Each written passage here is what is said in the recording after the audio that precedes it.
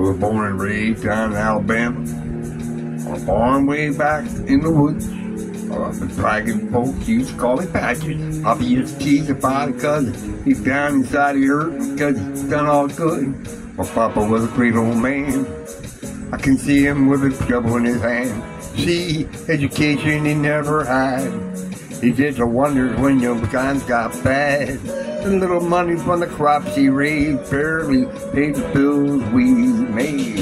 Whole life had kicked him down to the ground when the tires get up and life would kick him down. One day Pop called me his down bed, put his hands on my shoulders and he said, Patches, I'm depending on you, son, to pull the family through. My son is all left up to you. Two days later, Papa passed away and I became a man that day.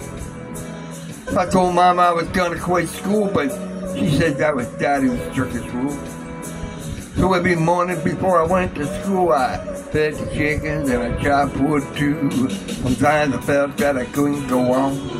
I wanted to leave, just run away from home. But I would remember what my daddy said with tears in his eyes. I wanted to bed. He said, Patsy, I'm depending on you, son.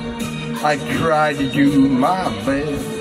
It's up to you to do the rest. Then one day a strong rain came along, washed all the crops away. At the age of 13, I thought I was carrying away from the whole world on my shoulders. And you know, Pop Mama knew what I was going through, cause every day I had to work the field. Cause that's the only way we got our meal. See, I was the oldest of the family and everybody else depended on me. Every night I heard my mama pray, Lord, give him strength to make another day. So the years I passed and all the kids have grown.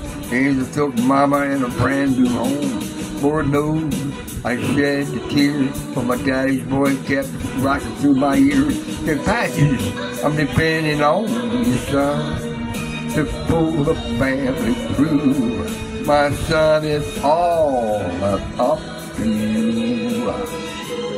Oh, I can hear her voice spicy. I'm depending on son. I tried to do my best. It's up to you to do the rest.